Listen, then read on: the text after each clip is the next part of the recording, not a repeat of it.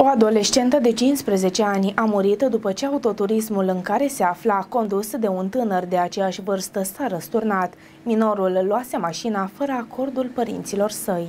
Conform Digi24, accidentul s-a soldat cu decesul pasagerei, o tânără în vârstă de 15 ani din județul Vrancea. Mașina condusă pe un drum public de minorul care a provocat tragedia era furată de la părinți. Conform Inspectoratului de Poliție Județean Buzău, din primele date de la fața locului s-a stabilit că în timp ce conducea un autoturism din direcția Focșani către Râmnicu Sărat, un tânăr în vârstă de 15 ani din Vrancea ar fi pierdut controlul asupra asupra direcției și s-a răsturnat în afara părții carosabile. Polițiștii au deschis un dosar penal și continuă cercetările pentru stabilirea împrejurărilor în care s-a produs accidentul, relatează Digi24. Din câte se pare, puștiul ar fi furat mașina părinților săi, un BMW X3 și a luat-o la goană. În mașină a luat ca pasager și o altă tânără, tot de 15 ani. În afara localității Podgoria, autoturismul s-a răsturnat și s-a făcut praf. Din păcate, adolescenta a murit în timp ce puștiul teribilist s-a ales doar cu câteva răni ușoare.